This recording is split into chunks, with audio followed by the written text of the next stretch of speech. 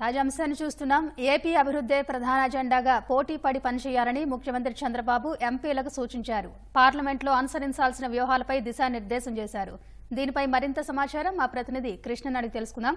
కృష్ణ చెప్పండి తెలుగుదేశం పార్లమెంటరీ భేటీలో ప్రస్తావనకు వచ్చిన అంశాలేంటి?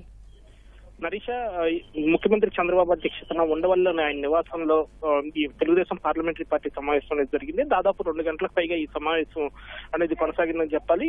ఏదైతే ఈ నెల ఇరవై రెండో తేదీ నుంచి అటు ఢిల్లీలో పార్లమెంట్ సమావేశాలు ప్రారంభంలో రాష్ట్ర ప్రభుత్వం తరఫున ఏవి ఎలాంటి అంశాలు లేవనెత్తాలి ఏంటి అన్న దిశగా ఈ ప్రధాన ఎజెండాతో ఈ సమావేశం జరిగిందని చెప్పాలి. ఇందులో ప్రధానంగా ఏంటంటే ప్రతి ఎంపీకి ఒక మంత్రి ఏదైతే ఆ, రాష్ట్రంలో అధికారంలోనే కూటమి ప్రభుత్వం ఉందన్న ప్రతి ఎంపీ అటు పదహారు మంది ఎంపీలు తెలుగుదేశం పార్టీ నుంచి గెలవటం అలాగే ఇటు మంత్రులు కూడా ఉండటంతో ఒక్కో ఎంపీ ఒక్కో మంత్రిని పేరు చేసుకుని ఏదైతే సంబంధిత శాఖలు రావాల్సిన అంశాలు కానీ నిధులు విధులకు సంబంధించిన అంశాలు కానీ ఒకరికొకరు కోఆర్డినేట్ చేసుకునేలాగా బాధ్యతలు అప్పగించినట్లుగా సమాచారం ఉంటుంది ఇందులో ప్రధానంగా ఏదైతే రాష్ట్రానికి ఏదైతే పోలవరం కానీ అదే అలాగే అమరావతి కానీ వీటికి సంబంధించిన ప్రాజెక్టులకు కేంద్రం సాయం వంటి అంశాలపైన విస్తృతంగా చర్చ జరిగినట్లుగా తెలుస్తుంది. అలాగే కేంద్రం ప్రభుత్వంతో సహాయం కోసం ఒక్క ఎంపీకి ఇప్పటికే కొన్ని శాఖలు అనేది కేటాయించారు.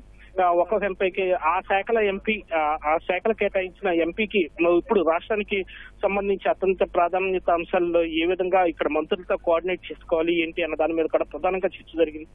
వీటిల్లో ఇటు పోలవరం వీటితో పాటు జల్ జీవన్ మిషన్ అలాగే కృషి శిక్ష యోజన కింద రాష్ట్రానికి మెరుగైన సాయం అలాగే దక్షిణ కోస్తా రైల్వే జోన్ వంటి ప్రాజెక్టులకి ఈ భూములు కేటాయింపు తదితర అంశాలపై కూడా ప్రధానంగా చర్చించినట్లుగా తెలుస్తుంది. అలాగే విశాఖ స్టీల్ ప్లాంట్స్ మళ్ళీ తిరిగి గాడిలో పెట్టేందుకు తీసుకోవాల్సిన చర్యలు అలాగే విభజన హామీల్లో భాగంగా రాష్ట్రానికి కేంద్ర ప్రభుత్వం మంజూరు చేసిన వివిధ సంస్థలకు అవసరమైన పూర్తి సదుపాయాలు కల్పించడం వంటి అంశాలపైన కూడా ఈ సమావేశంలో చర్చ జరిగినట్లుగా తెలుస్తుంది. అలాగే ఇందులో కొన్ని రాజకీయ అంశాలు కూడా ఈ సమావేశంలో ప్రధానంగా చర్చకు వచ్చినట్లు తెలుస్తుంది. ఇందులో ప్రధానంగా ఏదైతే రాష్ట్ర అభివృద్ధి ప్రధాన ఎజెండాగా కృషి చేయాలని చెప్పి మంత్రులకు ముఖ్యమంత్రి మంత్రులకు అలాగే ఎంపీలకు ముఖ్యమంత్రి స్పష్టం చేశారు. అలాగే